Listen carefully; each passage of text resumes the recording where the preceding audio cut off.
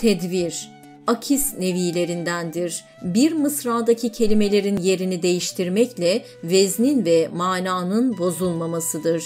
Meşhur Semen geldi recaiye bu mahbeste oturmaktan mısraında olduğu gibi bakınız akis.''